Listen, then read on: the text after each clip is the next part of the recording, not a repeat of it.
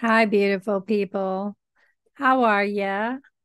I hope you're having a great day. With you, I can be sad with you. Just take my hand and fly up through the dreams where the skies are so clear. Today is about fibromyalgia medications. I wanted to give you a rundown of what is out there. You're going to know many of these, especially if you've had fibro a long time. You you're probably a lot like me. You've been through many of them. I just hope that you don't live in pain every day, but sometimes it's necessary so that we can get things done and live our lives happily. I know that pain is hard. I understand that when you take a med that works, you love feeling good again. I get that.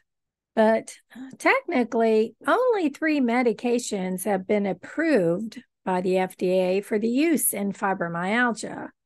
And those are milnacipran, duloxetine, and pregabalin. So let's talk about these first.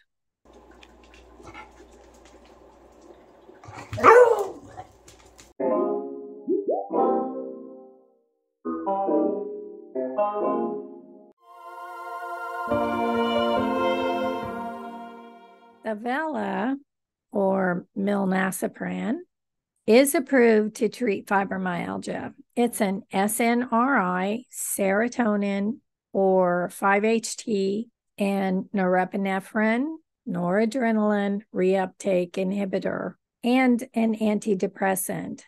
SNRIs block the reabsorption or reuptake of the neurotransmitters serotonin and norepinephrine in the brain. Serotonin is often considered low in people with fibro, or at least the activity of serotonin is low in the brain. But experts are split as to whether serotonin in ME/CFS is high or low. In fibro, may also be that our body isn't using serotonin properly. Still, serotonin is busy working all over the rest of the body in a dysregulated way and may contribute to many of our symptoms and overlapping conditions. It is this busy functioning of descending pathways of serotonin and norepinephrine that are believed to cause our heightened sensitivity to pain, as well as painful reactions to non painful stimuli. So, hyperalgesia and allodynia. Norepinephrine is involved in the body's stress response, alertness, and memory. And milnacipran has a threefold stronger effect on noradrenaline or norepinephrine than serotonin. Research shows that people with fibro have abnormal blood flow patterns in the brain and have a significant impact on brain function. The burning pains we get may be from impaired blood flow, including the pins and needles. In ME/CFS, some research shows low blood volume, which results in cells starving for oxygen and nutrients. Low serotonin is also linked to migraine. In migraines, which many of us have or have had, low serotonin causes the blood vessels to dilate, which causes inflammation in surrounding tissues. In addition, our temperature sensitivity and heightened pain response, as well as excessive sweating when overworking our body, may also be involved in blood flow problems. So, Savella may help with all of this. And it works as an antidepressant and eases pain and fatigue associated with fibro. It can relieve depression symptoms such as irritability and sadness because too little or too much serotonin can lead to depression. But SNRIs are also used to treat anxiety disorders and chronic pain, especially nerve pain. Patients may also take amitriptyline, which I'll talk about in a moment, or a muscle relaxer to help promote sleep. This is usually the first line of therapy for fibromyalgia patients. It was my first medication, but it didn't work very well for me at that time. But if you have pain, sleep problems, and sad moods, this could work for you. Duloxetine is also considered an SNRI and antidepressant. This medication protects the level of feel good chemicals like serotonin and relieves depression, anxiety, and pain. Duloxetine, we also know it by Cymbalta, is a medication used for fibromyalgia, GAD, which is generalized anxiety disorder, pain from diabetes related neuropathy, and chronic musculoskeletal pain. It decreases our BDNF levels, brain derived neurotrophic factor. Apparently, we have an increased BDNF level. BDNF is the most abundant and widely distributed neurotrophin. Neurons important for regulation of our survival, differentiation, and maintenance of nerve cells in the central nervous system and peripheral nervous system. It's been known to be involved in axonal growth, synaptic plasticity, and neuronal repair, as well as cognitive functions, including memory. Researchers in a study from 2022 stated our results showed that a one month treatment with duloxetine decreased serum BDNF which was associated with improvement of disease severity, depression, and pain level. This was compared to their control group, those with nociceptive pain like osteoarthritis and tendonitis, had the same result. This means that BDNF in pain modulation plays a significant role as a complex pain pathway. It works as an antidepressant and eases pain and fatigue associated with fibro. It has five times a stronger effect on serotonin than on noradrenaline. Patients may also take amitriptyline or muscle relaxer with this medication to help promote sleep. And again, if you have pain, sleep problems, and sad moods, this could work for you. Pregabalin is an anti seizure, anticonvulsant drug. This medication was the first to be approved by the FDA in treating fibromyalgia. It is used to help control partial onset seizures for the treatment of epilepsy. It's also prescribed for post herpetic neuralgia, that pain after shingles, and pain caused by nerve damage from diabetes or spinal cord injury. But it's also used to treat fibromyalgia muscle pain and stiffness. Pregabalin works on the central nervous system. It is an anticonvulsant and neuropathic pain agent. In a 2018 study, researchers stated that pregabalin has an effect on cortical neural networks, particularly under basal neuronal hyperexcitability. When compared to healthy controls, only the fibro group was affected.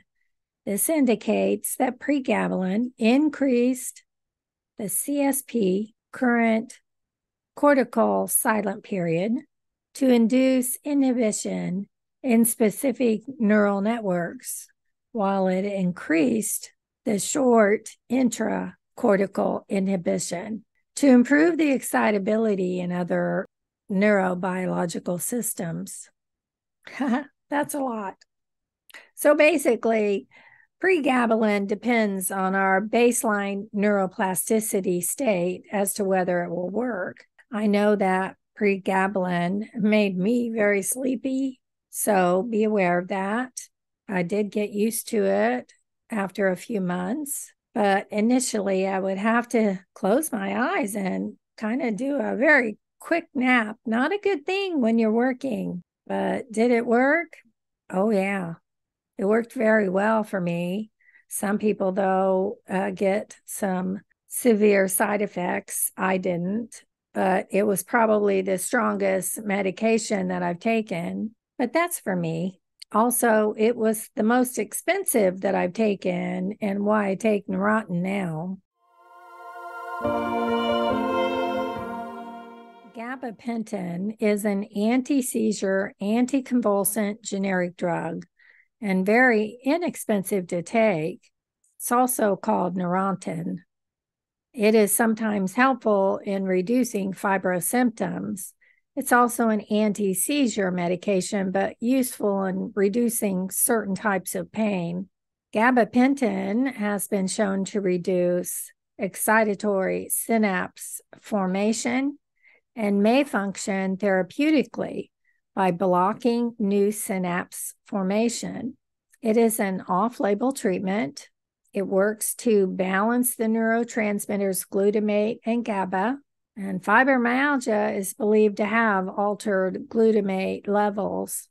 It can also help with insomnia in fibro patients, but over time I've had to add a muscle relaxer to help me sleep. Gabapentin is chemically related to pregabalin. Sometimes pregabalin is referred to as the son of Neurontin. This drug is often prescribed, Neurontin, for people with damaged nerves, like those with neuropathy, for restless legs, and hot flashes. This medication may work on some patients who also have neuropathic pain, but Fibro symptoms are similar to neuropathy, and whether fibro involves nerve damage is still unclear, even though there are a few researchers who believe this is true. So, according to research, people with fibro have too much glutamate in certain parts of their brains. A 2016 study showed gabapentin an effective treatment for fibro by reducing pain and improving sleep, while another study in 2017 found that there is not good evidence to support or contradict whether it works at daily doses of 1200 to 2400 milligrams. I'm only taking 900. I could probably take more in in the morning, but I was taking just 600 just a few days ago. Prior to this, I was down to 300 milligrams. I was only taking it once a day because I was working. So I did, took nothing during the day and took the 300 milligrams at night. Once I retired, I realized I need to get back on medication. For me, I don't get any side effects from this medication that I'm aware of but two in 10 people may have side effects. Again, this might not work for you unless you have neuropathic pain like sharp pain, burning pain, or shooting pain.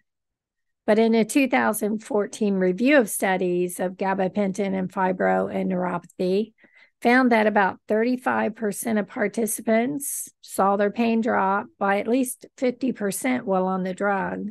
It's usually prescribed at a low dose and gradually increased over time.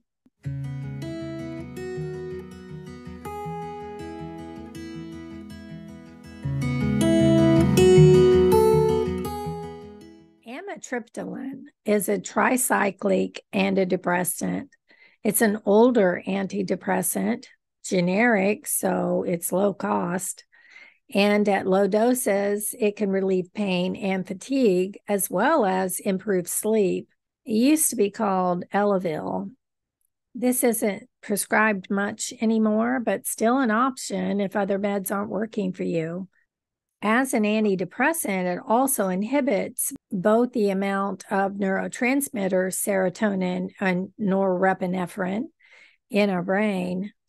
It slows down the process of reuptake in a different way than antidepressants, but side effects are drowsiness and weight gain, as well as constipation. For some, this is effective in treating mood problems such as depression. It may also improve feelings of well being, relieve anxiety and tension, help you sleep better, and increase your energy level. It works by affecting the balance of neurotransmitters like serotonin and norepinephrine in the brain. Some people find a benefit from it within a week but it can take up to four weeks before you feel the full effects of it. It is often effective in peripheral diabetic neuropathic pain and other neuropathic pain syndromes. It can help with the stabbing and burning pain feeling in different parts of the body. People with interstitial cystitis, chronic back or neck pain, and vulvodynia also find comfort in this med. There isn't any supportive, unbiased research for its beneficial effects, but for decades, this has proven as a successful treatment option in a minority of patients. Apparently, stopping amitriptyline abruptly is not recommended, so talk to your doctor.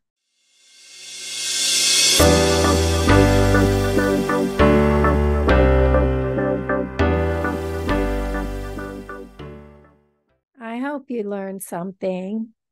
I send you gentle hugs and support. Love you. With you, I can be sad with you. Just take my hand and fly up through the dreams to help promote pain. Neurobullet. I wanna stay with you with you. I love the way that you love me today. Let's run up through the fields where the sun shines.